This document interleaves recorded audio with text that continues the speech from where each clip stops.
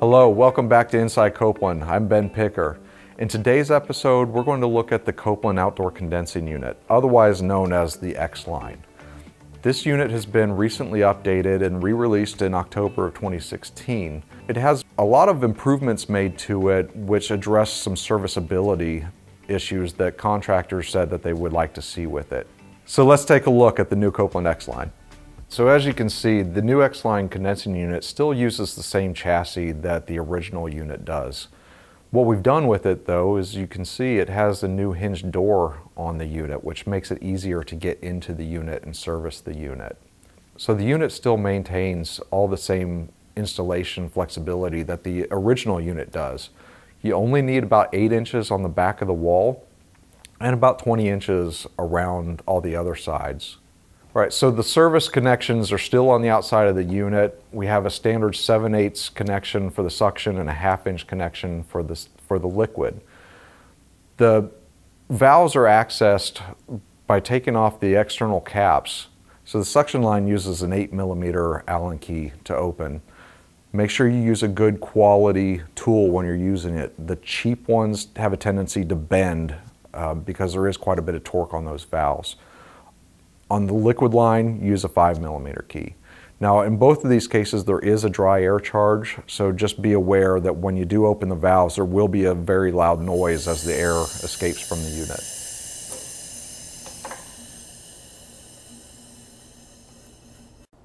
The other connections on the unit is on the side, there's two knockouts that allow for the electrical connections. You may or may not need to use both of the connections. Uh, that will depend on whether you use defrost or not and what size wires need to go to the unit.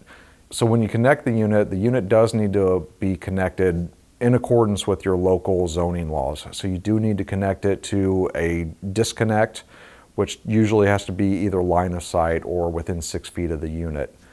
Be sure you follow the local zoning laws. To get into the unit, there's a quarter turn lock on the door. You just use a simple flathead screwdriver. You can open the door. Now the door is removable, so you can remove it from the hinges just by disconnecting the wire. Because the door is hinged, you can remove it and set it off to the side. This can be beneficial in windy situations where perhaps the, the door might swing around. You want to move it so it doesn't, you know, perhaps hit you. Taking a look inside the unit, you can see we've updated the control module. We've removed many of those old circuit boards that were in the unit. It makes it a lot cleaner and easier to use. The control does everything that the old boards did, but all in one module. There's also a circuit breaker in there that protects the module. We still retained the contactor and we moved all of the connection points down to one central terminal block. Looking down in the compressor compartment, we do have a filter dryer that's in there. We also have a sight glass that's in, in the unit as well. Those are all insulated on the low temp models as you see here. All right, so taking a look at the connection terminals that are in the unit, we've moved them all into one location so it's all together now. On this particular unit, you see this is a three-phase unit, so we have your typical L1, L2, and L3 where you make your power connections. There's also the ground uh, for the ground connection.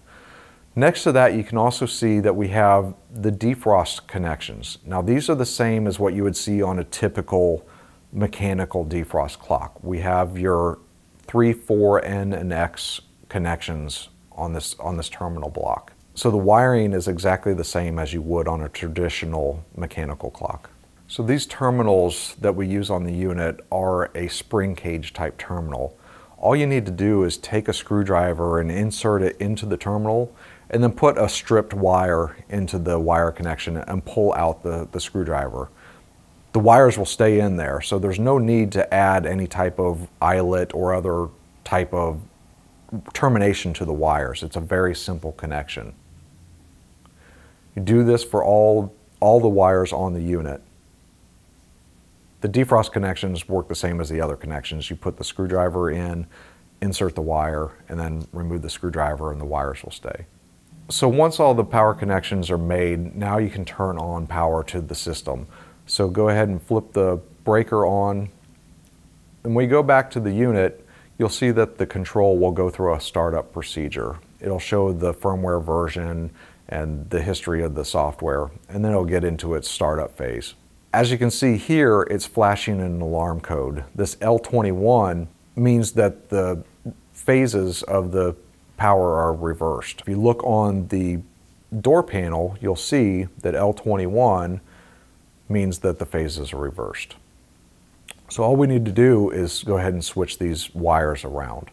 So to do that, we need to cut off the power to the unit and then we can change the wires. Once the wires have been switched around, go ahead and reapply power to the unit. So now that the error has been corrected, now the unit can be programmed. So to program the unit, it's really a three simple steps. Number one, you need to set the real-time clock. After that, you need to set the parameters of the unit, which are like your cut in and your cut out, um, and your refrigerant. After that, then your defrost settings. You can choose whether to have the defrost enabled or disabled. So really just three simple steps to do that. In order to program the control, it operates like any other Dixell controls that you might be familiar with. In order to enter the programming menu, you simply use the set button and the down arrow button and you hold those for about three seconds and that will enter you into the programming mode. The first thing you'll see will be RTC. This is for the real-time clock. So in order to get into the real-time clock menu, go ahead and hit the set button to get into that menu. So once you're in the real-time clock menu, now you'll be able to set things like the, the minute, hour, and the, the day. So the first parameter that comes up is minute. So go ahead and hit the, the set button to enter that parameter and then use the up and down arrow buttons to adjust the time. Hit set to accept it. Do the same thing for hour. Hit set button to enter the hour parameter and use the up and down arrow buttons to set the time. Now the time is in 24 hour time, so anything that's above 12, you just subtract 12 to get the time of day. So 17 means 5 p.m. After you set the time, now you can set the day. This is the day of the month, so whatever the day is, just set it. Use the up and down arrow buttons to set that. Finally, then you have the month. After the month, of course, you set the year. After the time has been set, just hit the set button and the up arrow button just by pressing them one time. That will take you from the real-time clock menu back down into the main programming menu. The other menu that's within the, the main programming menu is the parameter. This is where you can set your cut in and cut out and your refrigerants. So select parameter and then hit set. The first parameter that will come up is the CIN. This is your cut-in uh, setting. So use the up and down arrow buttons to select whatever cut-in pressure you like to see with the system. Once you have that, press the set button to accept it. It'll automatically move to the cutout parameter. Again, use the up and down arrow buttons to set the pressures that you want the cutout to be. After the cutout is the refrigerant. On these units, you do need to select a refrigerant for the unit to operate. In this case, we'll use 404. After the refrigerant is done, now you can move into the defrost settings. So the EDF parameter is the parameter used to set what type of defrost you want. So hit the set button, you'll see not used comes up. This means that defrost is turned off. You have the option to either use this control for defrost or you can use a different control. The other options that exist are real-time clock, which allows you to set an actual time of day. So if you want the defrost to happen at 6 a.m. and 5 p.m., you can set those values with this menu. So let's go ahead and take a look at that.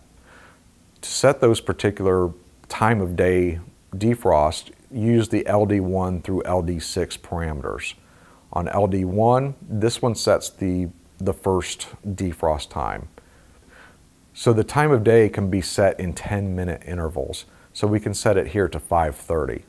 The order in which you enter the times into LD1 through LD6 doesn't matter. You can put 6 a.m. as LD1 and you can have 2 a.m. as LD2. The control is automatically going to put those in the correct order. So now that you've set the clock and the parameters and the defrost, the unit is ready to go.